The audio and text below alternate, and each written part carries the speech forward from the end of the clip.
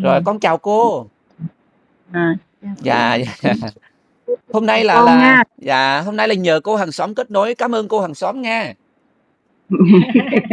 Dạ. Dạ, à, thưa cô, bây giờ mình vô buổi trò chuyện luôn nha cô nha. Rồi con con cứ nói đi. Dạ, Ừm. thưa cô trước tiên là Ừm. cô cho con biết tên của cô được không ạ?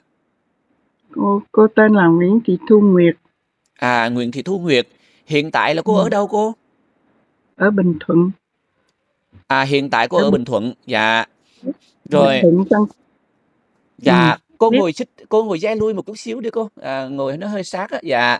Bây giờ con thưa với cô thế này nè, là vừa rồi đó là có một chú ở bên Mỹ kêu bằng chú Andy là À. trước đây là lính Mỹ và vào năm 1969 á, thì có đóng quân ở Long Bình à, của Biên Hòa Đồng Nai đó cô thì có quen với một người tên là cô Nguyệt và có sinh ra một em bé vào năm 1970 tuy nhiên là cuối Ừm. năm 69 á, thì chú đã về rồi. Vì vậy cho nên á là sau khi mà chú về bên Mỹ thì chú chỉ nhận được thơ và những người bạn lính cùng chú á, là có kể lại cho chú là cô Nguyệt có sinh ra một người ờ, con trai vào năm 1970 và sau đó thì chú cố gắng liên lạc mà không liên lạc được.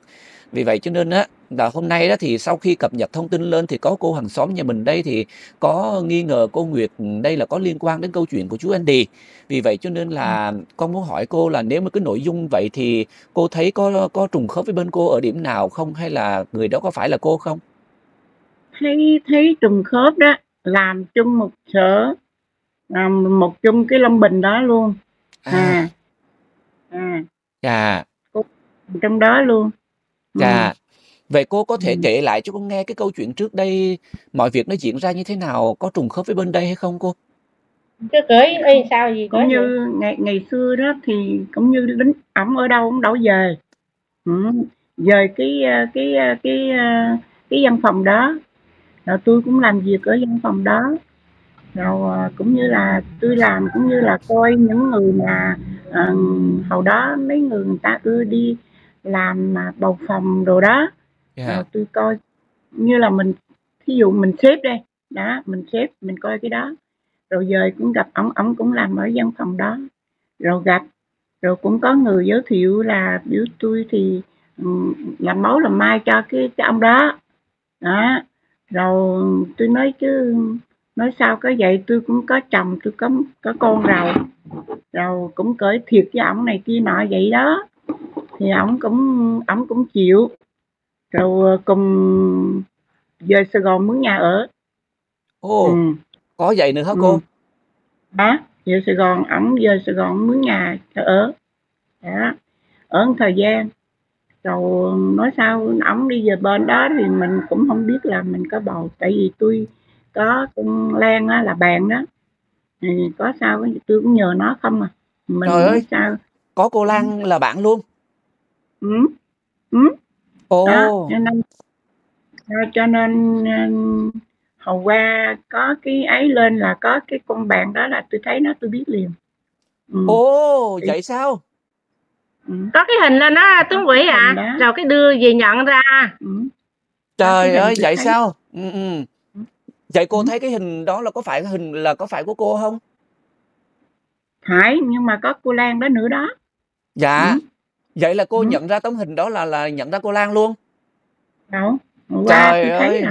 À, con tưởng là nghi ngờ thôi chứ vậy là trúng rồi hả cô? Đó, trùng khớp y như là tui làm ở Long Bình, tỉnh Đồng Nai, ở Cẩm Hai, Biên Hòa. Trời ơi! Vậy sao? Y chang luôn mà. Ừm. Dạ, vậy thì bây giờ cái người con trai đó đâu rồi cô? Người sinh năm 70 đâu rồi? Bây giờ nó nói thiệt ra tui cho tui cũng khổ quá, rồi cho nó theo người ta, thì hiện tại bây giờ nó ở bên Mỹ rồi. Mà cô có Nó liên lạc bển á. cô có liên lạc được với ảnh Có. hông? Có. Trời ơi, nó quá! Dạ. nó nó ở tiểu bang New York. Ừm. Dạ, à, vậy hả cô? Ừm, ừm. Ừm.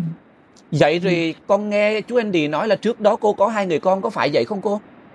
Ờ, đúng, đúng, đúng, đúng y luôn đó. Dạ, vậy 2 người 2 con 2 người con bây giờ ở đâu rồi? người con bây giờ ở đây. À, đang 2 ở người con đó. ừm, Dạ. ừm, 2 người con Việt Nam. À. Ừm. Vậy hả cô? Dạ. Ừm. Rồi cô còn Chính nhận ra ổng hông? Cô còn nhận ra ổng hông cô?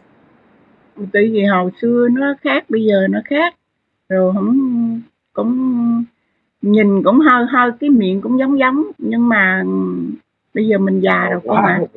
Hả? Mình già rồi, năm nay là gì cô được 81 tuổi rồi.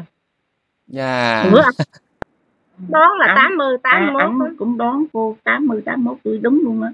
À, hình như À, là như cô cô lớn cô lớn hơn ổng 1-2 tuổi gì phải hông? Đúng rồi, lớn hơn hình như 2, 2, 3 lần á. Trời ơi, hữu duyên có vậy nếu phải thì hay quá, mà nếu mà cô kể Ừm. vậy thì đương nhiên là đúng rồi, đúng hông cô?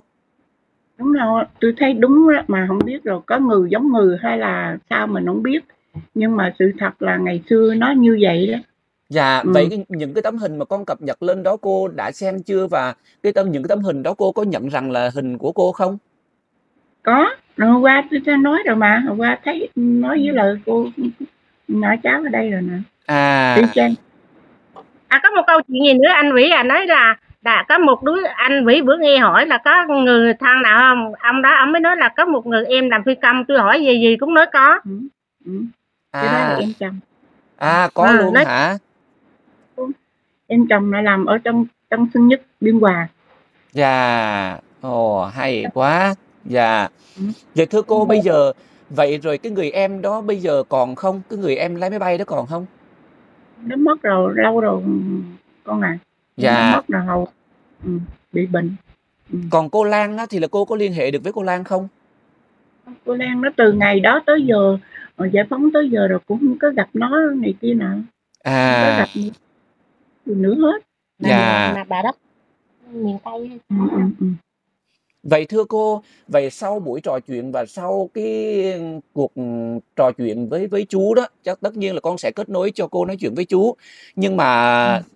Gọi là, nếu mà chú yêu cầu xét nghiệm ADN thì, à, cô có thể sau đó cô cho con cái số điện thoại của cái anh sinh năm 70 đó để cha con có thể xét nghiệm ADN với nhau được không?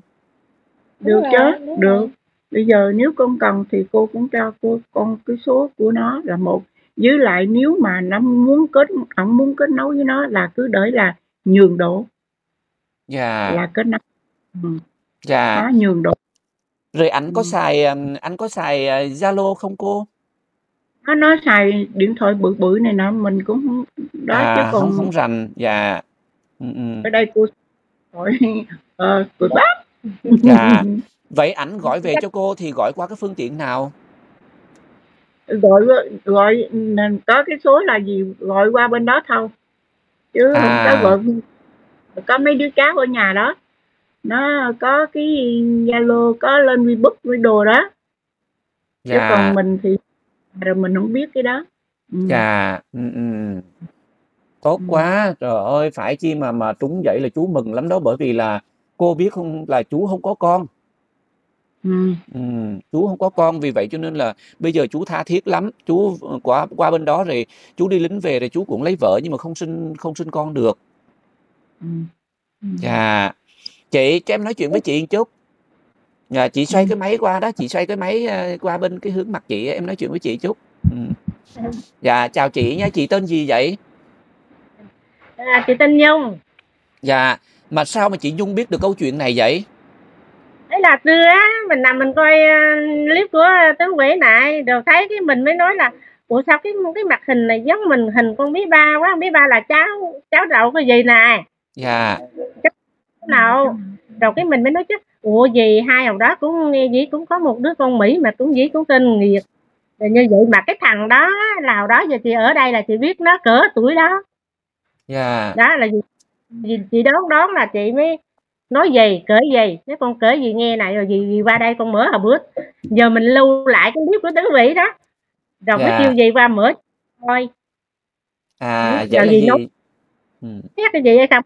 Dì dì hồi đó giờ dì có đứa em nào tại vì biết dì có một người em trai là ở cũng ở đây mà mà mà mình biết mà nhưng mà hổng biết hồi đó có đi lính hay không, mình biết hỏi dì có em trai có ba của con Liên có đi làm gì hông? Dì nói hông có đâu, người em chồng là đi phi công, là em chồng chứ À. hông phải là đó. Hòa. Ở Biên Hòa đó nên thành mình thấy cái sao nó nó cũng trùng hợp, mình kêu dì kể trước. mình kêu dì Dạ. kể trước cho nghe rồi mình mới mới mở ra cho dì coi Dạ. đó đó, rồi dì nói "Ừ, có có gì dì nói thiệt nha.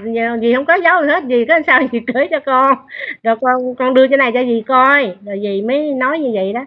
Rồi mới nói thôi để bữa nào con con tìm tìm không biết là kết nối đâu. Nói thiệt rồi hôm gặp thằng con nói con kết nối cái này cho mẹ. Dạ. rồi mới quỷ đó. Dạ. rồi à, vì cỡ vậy mình mới nói như vậy là thằng Mỹ nó ở bên đó tại đó nó, nó ở ngay cũng nhà mình đây là cách hai cái nhà mình mới nói là đó à, bây giờ mình nếu mà như vậy á, thằng Mỹ ở bên đó vì cho số điện thoại rồi ổng với lại thằng Mỹ điện Zalo với nhau nói tới đó gặp xét nghiệm trúng Đúng hay rồi. không là là nó rất là dễ dàng tại vì thằng Dạ. đó nó ở bên đó Dạ.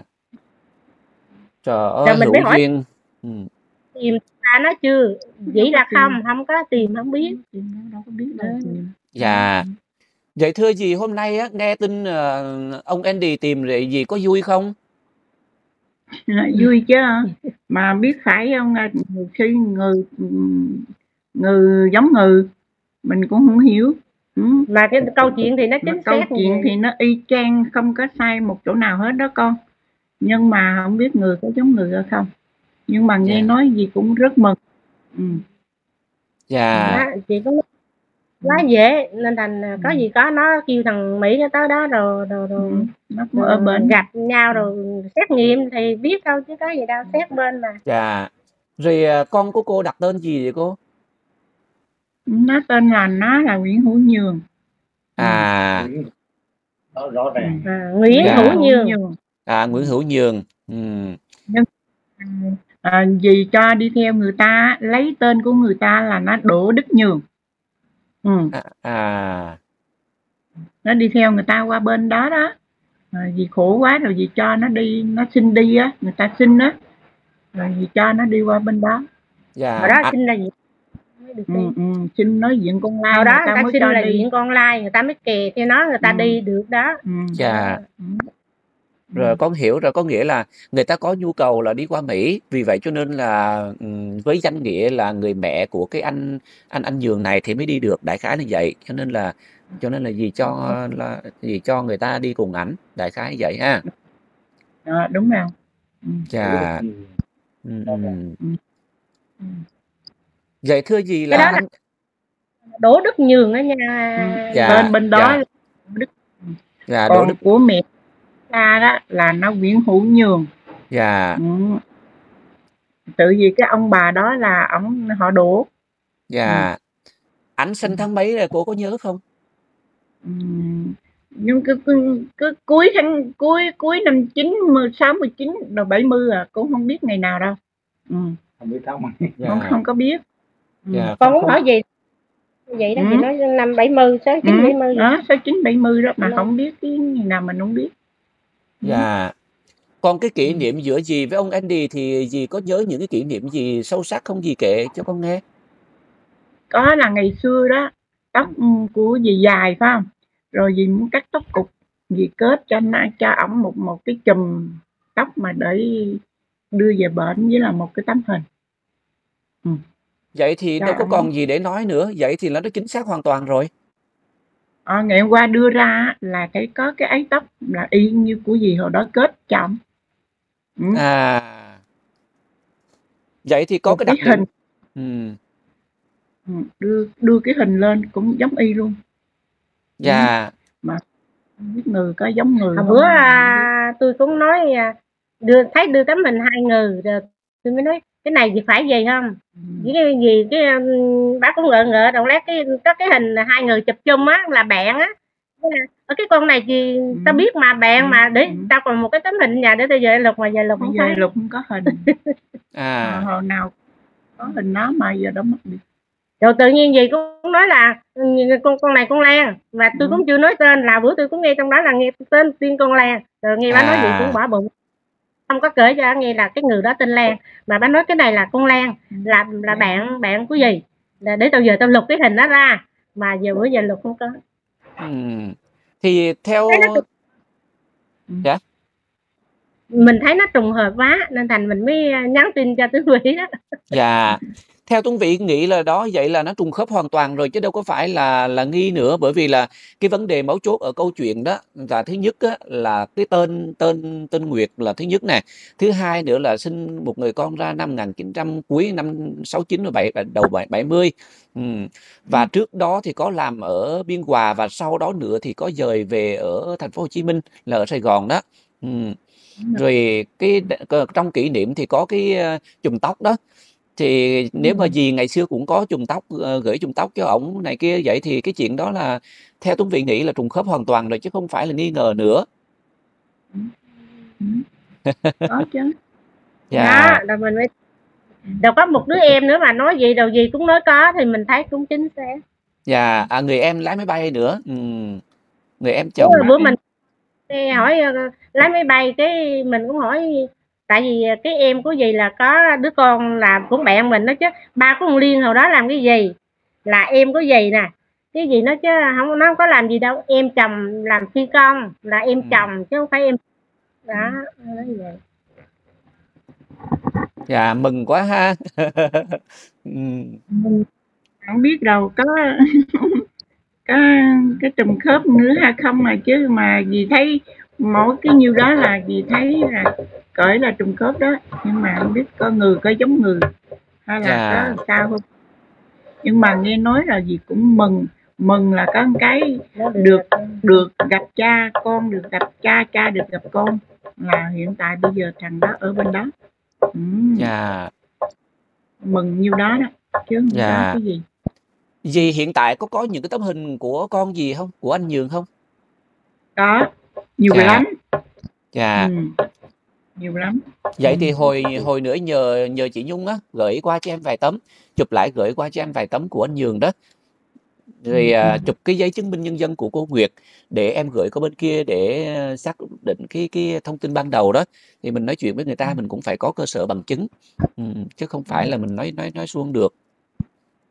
Mà hồi, hồi bữa giờ à có ai nhận chưa? Dạ chưa chưa có ai lên tiếng cả à tại vì mình cũng nói chắc cái này lâu hay mau ta mới đây cái mình coi lại mới đây có một từng à chắc chưa đâu mà này gì hai uh, gặp nữa coi phải có ai lên tiếng nữa. Thử có ai lên tiếng nữa không? Mình nói không đây dạ không thấy ai lên tiếng cả. Dạ mừng quá thì có con cũng rất là là nếu mà hữu duyên mà để mà được gặp được nhau vậy là con cũng chúc mừng cho cả đôi bên. Vừa là chúc mừng cho dạ nó cũng bị bác thầy quá bà. Ông xã mình nói tính hay quá. Dạ có ông xã chị Dung đi cùng đó hả? Ở, ở tại nhà, ở nhà, mình nhà mình đây à đó là nhà, nhà của chị Dung hả? Ừ. dạ. Dạ vậy là chị Nhung kêu chị Nguyệt qua. Kêu gì qua chứ bên đó không có mẹ bả không biết mình cũng không biết đâu. Nói tao qua nhà con đi. Dạ mừng quá trời mừng rồi Dạ. Rồi, à, trước đây có những kỷ niệm gì khác nữa không mà dì có thể nhớ không? Dì kể một số chi tiết để, a, con truyền tải tới cho cho cho chú cho chú nghe. Chỉ có tặng cho ổng vậy thôi chứ không có cái gì hết. Là dì cũng nói À. qua lại với ổng là dì có biết À. chữ, là nói thẳng dì cũng ít biết chữ À, nên thành cái bà kém. bạn xong nghe bữa dạ. ổng cũng kể, tại mình cũng có Ừm. coi ông cũng kể là Ừm. là không có qua giờ là gì mà có người bạn là cái thư À, từ qua thư lại nhờ con đó không là là bạn thôi chứ còn gì thì không có biết. Ừm, kém chữ. Nhờ chị Lan á. nhờ Lan á. Dạ. Mà con nghe sao chính xác nên mà hông biết ra là sao. Ờ, mà Dạ. sao. Ừm. Rồi để con, con, xin ghi nhận cái câu chuyện rồi con sẽ gửi cho chú Andy xem, rồi sau đó thì, à, chắc là chú cũng sẽ muốn có cuộc trò chuyện với cô, nên là sẽ nhờ chị Nhung, ừm, nhờ chị Nhung sẽ nhờ chị Nhung kết nối cho một vài lần nữa.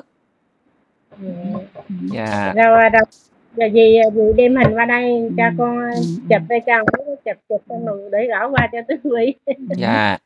Và thưa dì, nếu mà gọi là để nhắn cho ổng đôi lời thì dì muốn nói gì với ổng? Rồi con, con dì nói là con ghi nhận con gửi cho ổng nè. Nói gì ta mấy chục biết nói gì nữa? Biết nói gì giờ? Nói gì ta? Nói gì con? Đấy, ví dụ như người xưa ơi Ờ, không ngờ kiếp này còn được gặp lại người xưa hay gì đó. Gì thì không biết nói Nói đầu gì rồi hết. hai người tâm sự ở đâu đâu kể ra nghe cho chính xác chứ Ừm, tâm sự thì ở trong chỉ ổng đi về tới văn phòng đó rồi làm việc đó rồi gặp đó thôi chứ cũng rồi thời gian về Sài Gòn mướn nhà ở À, rồi mướn nhà ở Sài Gòn thì dì còn nhớ quận mấy đường gì không? ở um, để coi khang đường Trương Minh Ký à, chợ chợ Trương Minh Giảng sao? Biết phải không? Biết lâu quá rồi con ạ Dạ, không biết cái đường Trương Minh Ký thôi dạ, nó cũng còn ra đường Tân Sinh Nhất Sài Gòn. Dạ. Ừ, ừ. Thuộc quận mấy dì có nhớ không? hình như quận 3 là phải. À, quận Tân Bình. Quận Tân Bình đó. Dạ, nhớ như vậy. Dạ. Thôi tạm thời vậy đi rồi à, khi nào mà ông có kết có có mong muốn là kết nối để nói chuyện với à, dì Nguyệt á thì con sẽ à, thông báo cho chị Nhung sau nha. ừ. có Rồi, gì gặp con giúp đỡ thử coi có phải trùng khớp mà có được vậy thì gì cũng mừng như dạ, vậy là là thích á tại Ừ. nó ở bên Ờ, đó mừng là mừng là cha gặp con con gặp cha Dạ. vậy đó dạ, nó ở bên ừ. Coi thử từ đó giờ đi qua bên đó mấy chục năm nay chứ nó không có biết người ta còn lai lai như Ừ. cái thằng này anh Vĩ coi nó rặt ròng người đó luôn. À, lắm. Dạ, rặt Mỹ luôn ha. Ừ, đặt mình đúng rồi. Ừ. Da trắng.